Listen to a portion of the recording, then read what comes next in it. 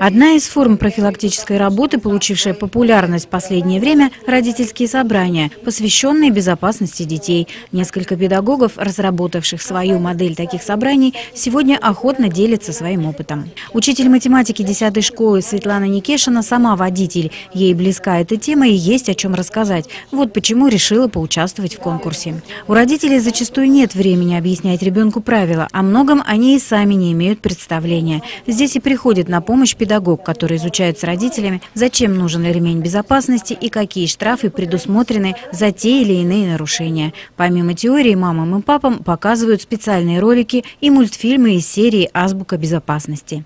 После реконструкции дороги э, появилось, что кольцо возле 10 школы, и детям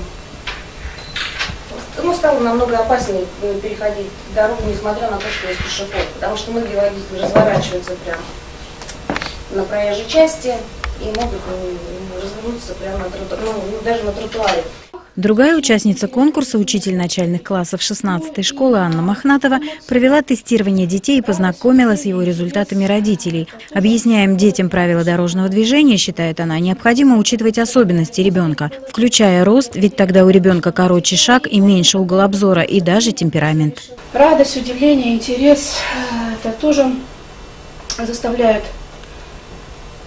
напрочь забыть об опасности, ну, которой могут быть подвергнуты дети в этот момент.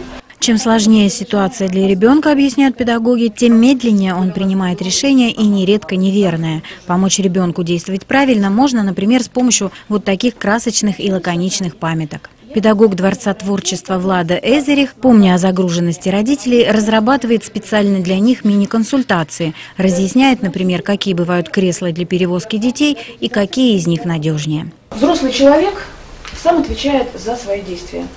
Взрослый человек сам принимает решение пройти ему до ближайшего пешеходного перехода или рискнуть перейти дорогу в необозначенном месте. Каждый из вас, взрослый человек, сам отвечает за себя. Но я хочу вам напомнить о том, что ваши дети, их действия – это отражение ваших действий. По итогам конкурса победителями стали учитель начальных классов школы номер 16 Анна Махнатова и Татьяна Ичинская, заместитель директора по безопасности жизнедеятельности школы номер 7. Всем участникам вручили почетные грамоты от отдела ГИБДД.